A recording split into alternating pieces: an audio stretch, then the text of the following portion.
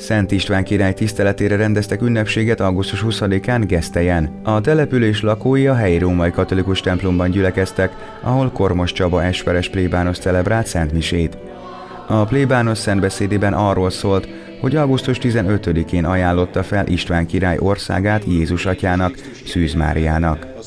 Ehhez hozzátette, hogy ő volt az első magyar uralkodó, aki egész nemzetét ajándékozta Szűz Máriának. Ezt követően Figecki János, világi elnök, majd Tipák Mária osztotta meg gondolatait az ünneplőkkel. A helyi műsorban fellépett a helyi csokonai népdalkör, akik az államalapítóról adtak elő dalokat. István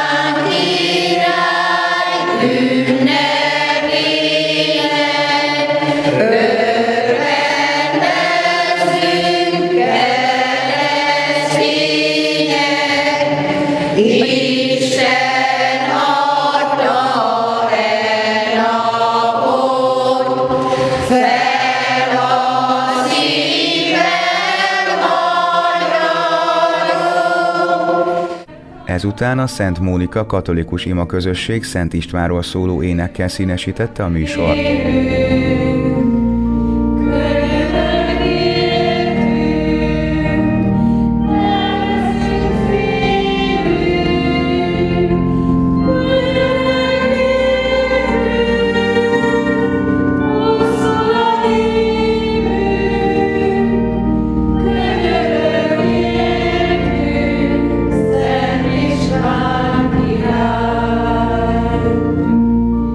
Simon István polgármester ünnepi beszédében első István király uralkodása során hozott döntéseket ismertette a jelenlévőkkel. A szónok kiemelte, hogy István király uralkodása alatt olyan nemzeti keretek, intézmények jöttek létre, amelyek egy évezreden keresztül tartósnak bizonyultak. Az első magyar király elődjétől olyan kaotikus állapotokat örökölt, amelyet megváltoztatva a magyarok sorsát évszázadokra eldöntötte.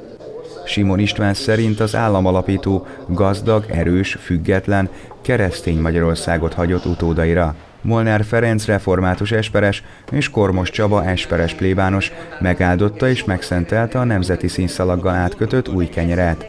A műsor végén az érdeklődők kivonultak a templomból, melynek bejáratánál a településen élők kínálták az új kenyeret gesztelyben.